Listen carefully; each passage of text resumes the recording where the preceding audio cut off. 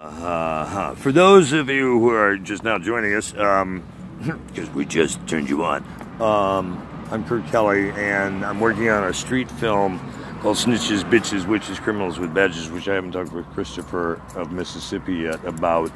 Um, I'm also talking about injustices to people on the street, and um, doing a movie called Criminals with Badges Gone Rogue. Um, but Christopher, uh, I saw walking out of a club that um, no, but hey, I'm using that because the brake's off. Darling, if if you need one, we'll turn one on for you. You can ride with him. she's she's hot. Why didn't you offer her a ride? Come on, little girl, let's go for. Anyway, Christopher um, had an amazing story, and so I asked if I could videotape. And he's in fact helped a lot of homeless people himself.